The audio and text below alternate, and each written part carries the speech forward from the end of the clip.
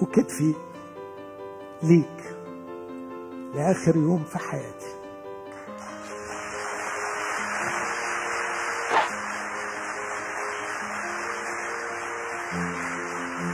thank you